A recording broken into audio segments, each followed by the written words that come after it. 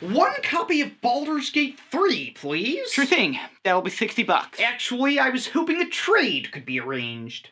I happen to have a copy of Elden Ring 2 in my possession. Whilst it was marginally more difficult than Elden Ring 1, I've still completed it thrice by now. Huh, piece of cake. Third, that game does not exist. Do you take me for a charlatan of sorts? Any merchant worth his salt would know that the game came out in Japan last weekend. Mayhaps it would be better if I took my patronage elsewhere. Perhaps you should. Oh, before I go, ask yourself this. Who's more likely to be the idiot here? You or me? Oh, Jesus Christ.